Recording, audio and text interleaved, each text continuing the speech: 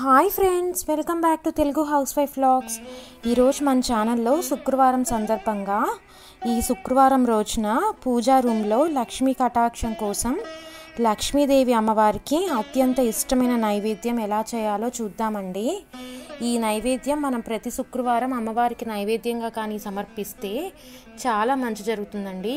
అమ్మవారి కరుణ మన మీద ఉంటుంది లక్ష్మీ కటాక్షం కలుగుతుంది. ఈ నైవేద్యం ఇప్పుడు నేను ఎలా చేయాలో మీకు చూపిస్తాను. దానికోసం నేను రెండు కప్పుల బియ్యం తీసుకున్నానండి. ఆ బియ్యాన్ని శుభ్రంగా కడుక్కోవాలి. నేను ఇక్కడ రెండు మూడు సార్లు ఈ బియ్యాన్ని శుభ్రంగా కడుక్కుంటున్నాను. కడుక్కొని ఆ నీళ్ళు మొత్తం మనం వంపేసేసి ఇప్పుడు ఈ బియ్యాన్ని తీసుకొని పక్కన పెట్టుకోవాలండి. ఇప్పుడు నేను రెండు కప్పుల బియ్యం తీసుకున్నాను కదా. సో దానికోసం నేను ఇక్కడ ఆరు కప్పుల నీళ్ళు వేసుకుంటున్నానండి. అంటే ఇప్పుడు ఒక కప్పు బియ్యానికి మూడు కప్పుల నీళ్ళు అనమాట ఇది ఒక కల కొలత అనమాట అంటే ఇప్పుడు మనం రెండు కప్పుల బియ్యం తీసుకున్నాం కాబట్టి ఆరు కప్పులు నీళ్ళు పోసుకోవాలి. ఇలా పోసుకొని మనం బియ్యాన్ని ఒక గంట సేపు నానబెట్టుకొని పక్కన పెట్టుకోవాలండి. ఇప్పుడు ఇవి నానే లోపల నేను ఒక ప్యాన్ పెట్టుకొని ఇందులో ఆవు నెయ్యి వేసుకున్నానండి. ఆవు నెయ్యి లక్ష్మీదేవి అమ్మవారికి చాలా చాలా ఇష్టం అనమాట అందుకని నేను ఇది ఆవు నెయ్యితో చేస్తున్నాను.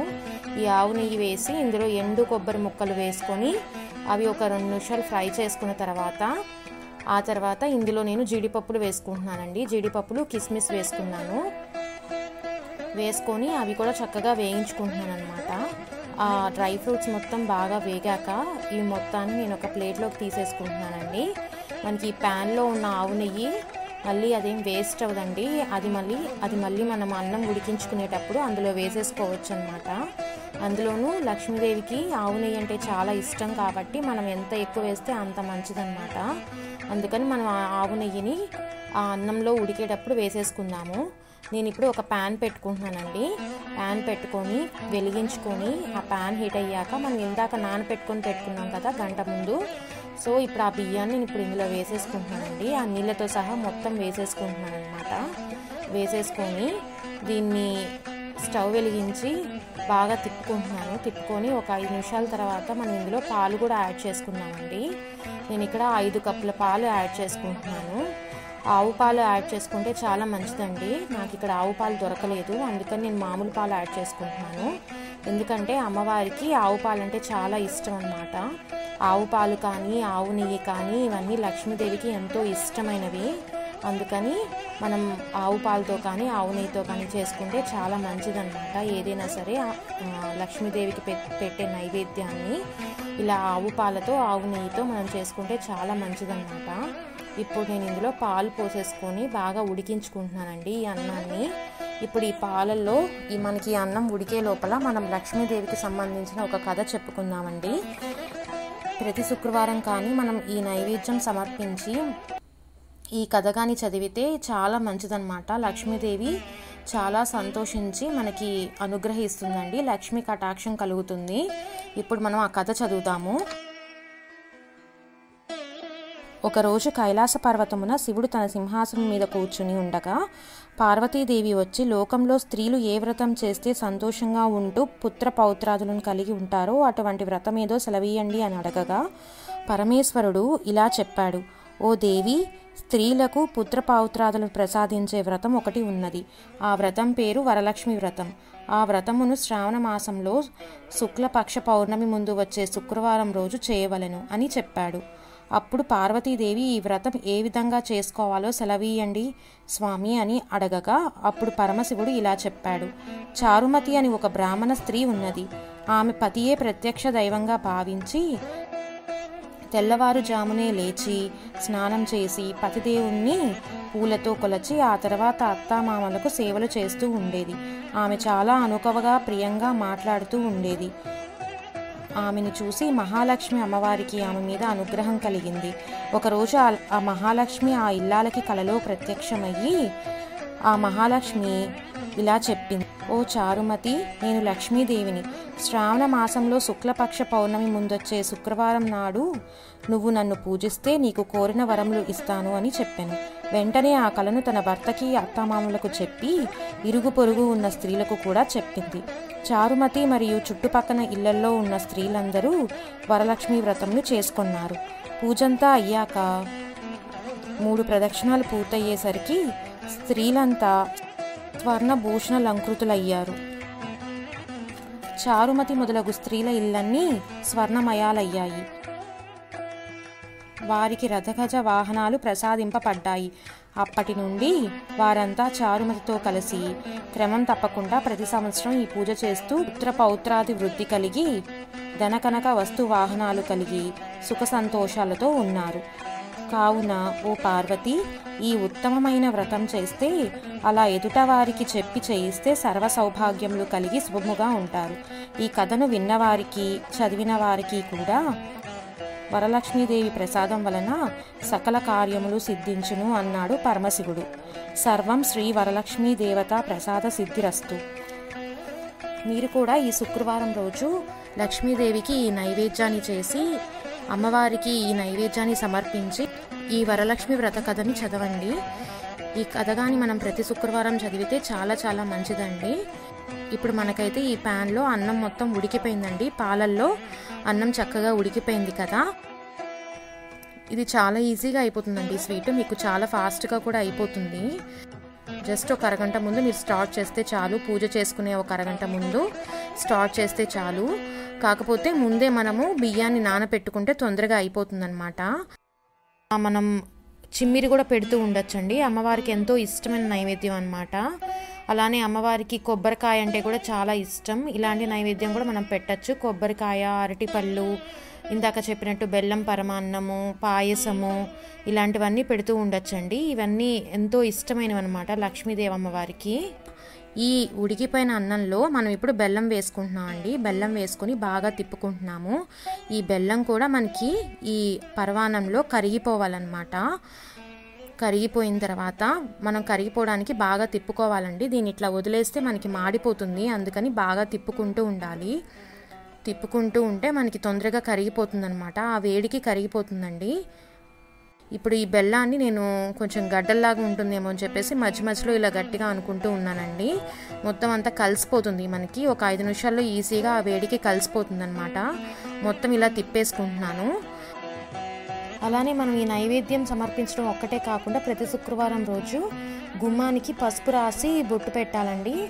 గుమ్మానికి పసుపు రాసేటప్పుడు మనం కూడా మన కాళ్ళకి పసుపు రాసుకోవాలి.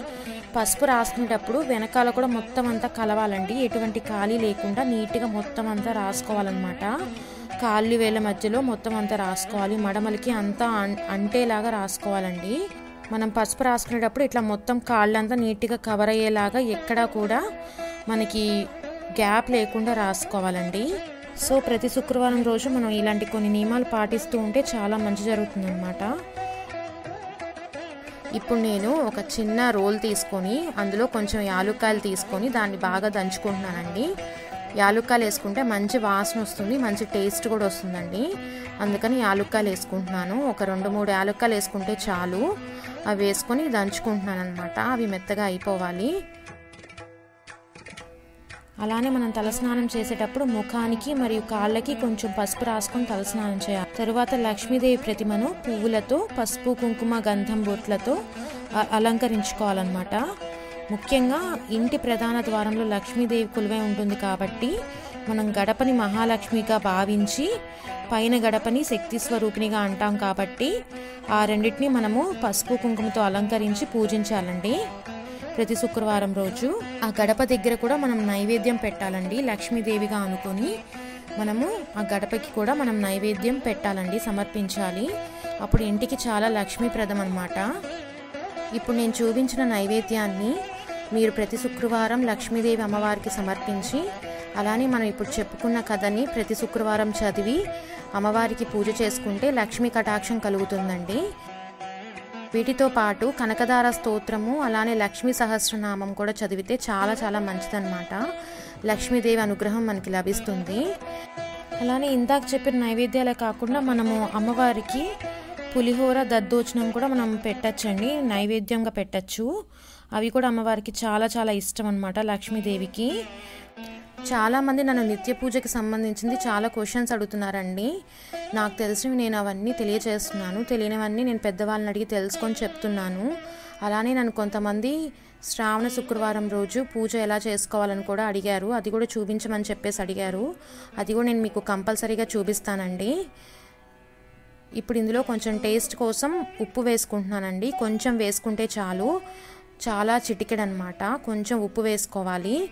వేసుకొని మనం తిప్పుకోవాలండి. నేను శ్రావణ మాసం వచ్చినప్పుడు వరలక్ష్మి వ్రతం కూడా చేస్తానండి. అది కూడా మీతో షేర్ చేసుకుంటాను. అలానే మనం ఈ ప్రతి శుక్రవారం రోజు ఈ బెల్లం పరమాన్నమే కాకుండా పాయసం కూడా పెడుతూ ఉండొచ్చండి అమ్మవారికి నైవేద్యంగా. ఎందుకంటే లక్ష్మీదేవి పాల సముద్రం నుండి పుట్టింది కదా అందుకని లక్ష్మీదేవి అమ్మవారికి ప్రతి శుక్రవారం రోజు పాయసం కానీ లేకపోతే ఇట్లా బెల్లం పరమాన్నం కానీ ఆవు నెయ్యితో చేసి ఆవు పాలతో చేసి నైవేద్యంగా సమర్పిస్తూ ఉంటే మనకి చాలా మంచిదన్నమాట. లక్ష్మీ కటాక్షం కలుగుతుంది. ఇట్లా మనం చిమ్మిరి కూడా పెడుతూ ఉండొచ్చండి. అమ్మవారికి ఎంతో ఇష్టమైన నైవేద్యం అనమాట ఇప్పుడు ఇందులో నేను మనం ఇందాక డ్రై ఫ్రూట్స్ని ఫ్రై చేసుకున్నాం కదా. ఫ్రై చేసుకున్నప్పుడు మనకి ఇంకా కొంచెం ఆవు నెయ్యి మిగిలింది కదండి. ఆ ఆవు నెయ్యిని ఇందులో వేసేసుకొని మిక్స్ చేసుకుంటున్నాను అనమాట ఈ ఆవు నెయ్యి వేసుకోవడం వల్ల మనకి మంచి టేస్ట్ వస్తుందండి. అలానే లక్ష్మీదేవి కూడా ఆవు నెయ్యి అంటే చాలా ఇష్టం అని చెప్పేసి మన అందరికీ తెలిసిందే కదా. అందుకని ఇట్లా ఆవు నెయ్యి వేసేసుకొని కలుపుకుంటున్నాను అనమాట అలానే మనకి శుక్రవారం రోజు ఈ నైవేద్యం పెట్టినప్పుడు మనం లక్ష్మీదేవికి ఎంతో ఇష్టమైన పువ్వులతో లక్ష్మీదేవిని అర్చించాలండి. లక్ష్మీదేవికి ఎరుపు రంగు తెలుపు రంగు పువ్వులు అంటే చాలా చాలా ఇష్టం అన్నమాట మనకు కానీ ఆ తెలుపు రంగు ఎరుపు రంగు పువ్వులు కానీ దొరక్కపోతే వేరే రంగు పువ్వులతో అయినా సరే మనం పూజించవచ్చండి కానీ ఎరుపు తెలుపు రంగు పువ్వులతో పూజిస్తే లక్ష్మీదేవికి చాలా చాలా ఇష్టం అనమాట అలానే లక్ష్మీదేవికి ఎంతో ఇష్టమైన కనకదార స్తోత్రము లక్ష్మీ సహస్రనామం చదివితే చాలా చాలా మంచి జరుగుతుందండి ఆ రోజు. అలానే నేను ఇంకా ప్రతి శుక్రవారం రోజు లక్ష్మీదేవికి ఇష్టమైనవన్నీ నాకు తెలిసి నేను మీతో పంచుకుందాం అనుకుంటున్నాను. ఇలా ప్రతి శుక్రవారము లక్ష్మీదేవికి సంబంధించి నేను ఏదో ఒక వీడియో పెడదాం అనుకుంటున్నానండి. ఇప్పుడైతే నేను ఇందులో డ్రై ఫ్రూట్స్ వేసేసుకుంటున్నాను అనమాట నెయ్యి మొత్తం ఇందులో మిక్స్ అయిపోయింది కదా. ఇప్పుడు ఇందులో మనం ఫ్రై చేసుకొని పెట్టుకున్న డ్రై ఫ్రూట్స్ వేసేస్తున్నానండి. డ్రై ఫ్రూట్స్ వేసుకొని మొత్తం తిప్పుతున్నాను. డ్రై ఫ్రూట్స్ వేసుకున్న తర్వాత ఒక రెండు నిమిషాలు తిప్పుకుంటే చాలండి. మొత్తం కలిసిపోతాయి. సో నేను మీకు చెప్పినట్టుగా ప్రతి శుక్రవారం నేను ఇంకా లక్ష్మీదేవికి సంబంధించింది ఏ- ఇట్లా వీడియో ఏదో ఒకటి పెడదాం అనుకుంటున్నాను. అమ్మవారికి సంబంధించిన విషయాలు మనం తెలుసుకుంటే ఇంకా చాలా మంచిది కదా. లక్ష్మీదేవికి సంబంధించిన కథలు కానీ లక్ష్మీదేవికి సంబంధించినవి ఆమెకి ఇష్టమైనవి ఏవైనా సరే నేను వీడియోలు పెడదాం అనుకుంటున్నానండి. అందరికీ మంచి జరుగుతుంది కదా. లక్ష్మీ కటాక్షం అందరికి అందరికీ కలగాలని చెప్పేసి నా ఉద్దేశం అండి. అందరికీ లక్ష్మీదేవి అమ్మవారి ఆశీర్వాదం కలగాలని చెప్పేసి నేను ఇలా వీడియోలు చేద్దాం అనుకుంటున్నాను. ఇప్పుడైతే నేను ఈ డ్రై ఫ్రూట్స్ని మిక్స్ చేసుకున్న తర్వాత ఇందులో కొంచెం యాలుక్కలు వేసుకొని బాగా తిప్పుకుంటున్నానండి. అలానే నన్ను చాలామంది దీపారాధన అప్పుడు ఎన్ని దీపాలు పెట్టాలని అడుగుతున్నారండి. ఏం లేదండి మనము మట్టి ప్రమిదతో మనము దీపం వెలిగించుకోవాలన్నమాట. రెండు దీపాలు మనం పెట్టుకోవాలి రెండు కుందులు పెట్టుకోవాలి. ఆ కుందుల్లో మనం రెండైనా సరే వేసుకోవచ్చు వత్తులు లేకపోతే బేస్ సంఖ్య మూడు ఐదు ఏడు తొమ్మిది ఇలా వేసుకోవచ్చండి. రెండు వత్తులు కలిపి ఒక వత్తిగా చేసి మనము దీపారాధన చేసుకోవాలండి. అలా మనం రెండు కుందులు పెట్టుకొని రెండు కుందుల్లో ఒక కుందులో రెండు వేసుకోవచ్చు. అంటే రెండు అంటే రెండు వత్తులు కలిపితే మనకి ఒకటి వస్తుందన్నమాట. అలానే మనం మూడైనా వేసుకోవచ్చు ఐదైనా వేసుకోవచ్చు ఇలా వేసుకొని మనం దీపారాధన చేసుకోవాలండి. మామూలుగా అయితే మనం నువ్వుల నూనెతో చేసుకోవచ్చు కానీ లక్ష్మీదేవికి ఎంతో ఇష్టమైంది ఆవు నెయ్యి కదా. అందుకని మనం శుక్రవారం రోజు ఇలా లక్ష్మీదేవికి ఎంతో ఇష్టమైన ఆవు నెయ్యితో దీపారాధన చేస్తే చాలా మంచిదన్నమాట. మనం ఎప్పుడూ కూడా డైరెక్ట్గా కుందుల్ని వెలిగించకూడదండి. ఒక మట్టి ప్రమిద తీసుకొని ఆ మట్టి ప్రమిదని ఫస్ట్ మనం వెలిగించుకొని ఆ మట్టి ప్రమిదతో మనము ఆ రెండు కుందుల్ని మనం వెలిగించుకోవాలన్నమాట. ఆవు నెయ్యి పోసిన ఆ రెండు కుందుల్ని మనం వెలిగించుకోవాలి. ఆ తర్వాత ఆ మట్టి ప్రమిదని కింద పెట్టేయకూడదండి నేల మీద పెట్టకూడదు. ఒక తమలపాకులో మనం పెట్టుకోవాలన్నమాట. నేను ఈ విషయం మొత్తాన్ని నేను డీటెయిల్గా నా నిత్య పూజలో చూపించానండి. ఒకసారి ఎవరైనా చూడకపోతే ఆ వీడియోని తప్పనిసరిగా చూడండి. లక్ష్మీదేవికి అత్యంత ఇష్టమైన నైవేద్యం తయారైపోయిందండి. ప్రతి శుక్రవారం రోజు పూజ చేసి లక్ష్మీదేవికి ఈ నైవేద్యాన్ని సమర్పించండి. మీకు తప్పకుండా లక్ష్మీ కటాక్షం కలుగుతుంది. అమ్మవారికి అత్యంత ఇష్టమైన ఈ బెల్లం పరమాన్నాన్ని నైవేద్యంగా నివేదించి పూజ అయ్యాక మనం ప్రసాదంగా స్వీకరించాలండి. నేను ప్రతి శుక్రవారము ఈ బెల్లం పరమాన్నం చేస్తూ ఉంటానండి. అప్పుడప్పుడు అయితే నేను పులిహోర కూడా చేస్తూ ఉంటాను. ఈ శుక్రవారం అయితే నేను ఈ బెల్లం పరమాన్నం చేశాను. అది మీతో నేను షేర్ చేసుకుంటున్నాను అనమాట సో మీరు కూడా ఈ బెల్లం పరమాన్నాన్ని లక్ష్మీదేవి అమ్మవారికి ప్రతి శుక్రవారం నైవేద్యంగా చేసి పూజ గదిలో పూజ చేస్తున్నప్పుడు నైవేద్యంగా పెట్టండి. మీకు కానీ ఈ వీడియో నచ్చితే లైక్ చేయండి షేర్ చేయండి. అండ్ మన ఛానల్ చూడటం ఫస్ట్ టైం అయితే తప్పకుండా సబ్స్క్రైబ్ చేసుకుని పక్కనే ఉన్న బెల్ ఐకాన్ని ప్రెస్ చేయండి. ఇంకొక మంచి వీడియోతో మళ్ళీ మీ ముందుంటాను. Thanks for watching